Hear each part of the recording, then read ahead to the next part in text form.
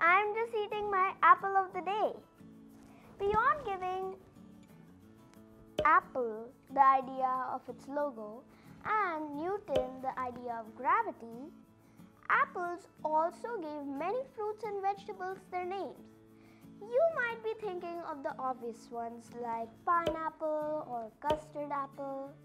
But apple even gave names to fruits like bananas, oranges, watermelon, muskmelon, and vegetables like potatoes and tomatoes. It even gave names to things like doorknobs and hand grenades.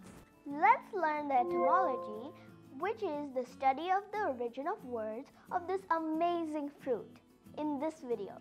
As a bonus fun fact, stick around till the end of the video to find out which was first, orange the fruit or orange the color.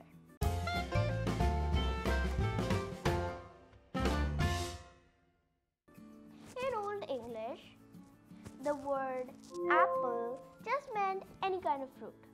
It wasn't like this apple.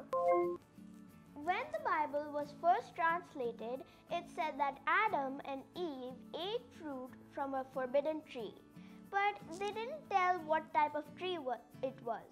But nowadays, people think that Adam and Eve actually ate this kind of apple. But people couldn't just call all kinds of fruit apples, they need to specify it. So they called all types of roots something that linked with apple. For example, a banana. A banana they called apple of the paradise. And when they saw a fruit that looked like a pine cone, they called it pineapple. That's one we still use today. Just like they called any type of fruit an apple, in Latin they called any type of fruit melon, which later became melon. And when a melon was filled with water, they called it watermelon. And when it had powerful fragrance like musk, they called it muskmelon. But the word melus was only used for fruit in Latin till 400 AD. After that, it was changed to pomum. The word pomum also meant fruit or apple, which became pomo in Italy. Hence, the word pomodoro, which means tomato, is golden apple in English. In French, pomum became to be pomme, which means apple or fruit. So I just searched it up on Google and what I was saying as pomme is actually pronounced pomme. So potato in French means pomme which is literal meaning in English is earth apples.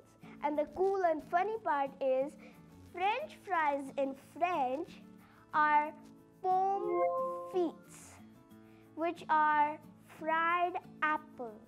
Would you like to eat fried apples? Continuing with French, the word grenade means many seeds, and you guessed it, the word pomme grenade, which is pomegranate in English, means apple with many seeds. And it's not surprising while thinking of the name of the explosives grenade, they thought they looked like pomegranates. So they named them grenades. So next time you're traveling to France, if someone offers you a grenade, it's probably safe to think that they're offering you the fruit, not the weapon. So what about the orange? Well, the word orange originally came from the Sanskrit word narang. As the fruit traveled from India, it picked up many new names, like the word naranj from Arabia. And the word naranj became arancio in Italian. But the word arancio actually means orange tree. The fruit orange means melarancio which translates to apple of the orange tree.